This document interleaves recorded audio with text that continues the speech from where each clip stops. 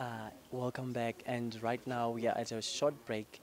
We've been watching a movie called Black and Grey, and right now I'm joined by a gentleman. Can you please introduce yourself? Uh, my name is Mahluli Sibanda.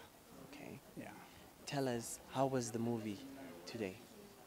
Uh, it, was, it was a very interesting concept, uh, very, very interesting concept, very interesting narrative. I liked the, the way in which the director played around with um, this concept of non, non-linear storytelling, where basically he was um, he started from from the middle and then Mhm. he went to the end of the story and then he started again from the beginning to Yes. to to tell us the narrative of the story. What uh, are the advantages of being here when you do uh, script writing?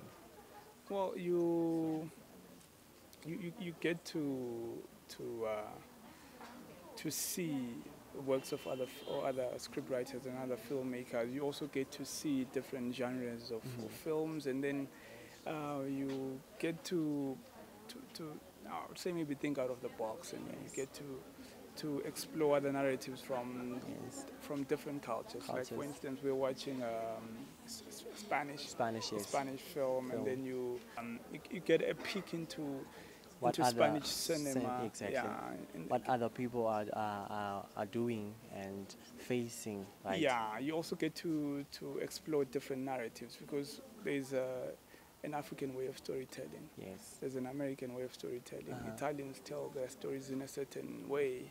Uh, So in a way, when you when you watch films from other nations, you you you are exposed to different ways of storytelling, Yes. different ways of life. And Life, yeah. yeah. and um, what? Uh, how did you come to know this the event?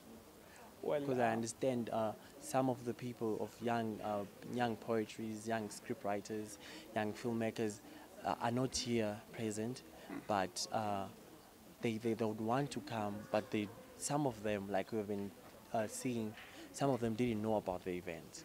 Yeah, I, I think the I think the event was not well advertised.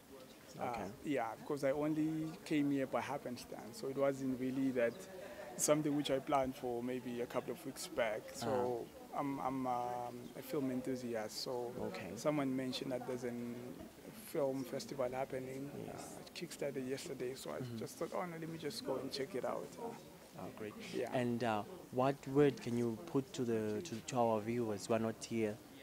Present? Uh, what can you say to them so that they can come? Since it's, it is a free uh, a free event. Yeah, I would say, yeah, no, just come through and come and watch films from uh, different countries, come and uh, explore different narratives and, and see artists from other countries, see our actors uh, from, from Italy, from Spain um, play out their parts in, in, in, in films. Come and, and see cinematography from Yes. different uh, parts of Europe, you know. Yeah. Yeah. So you heard it from him.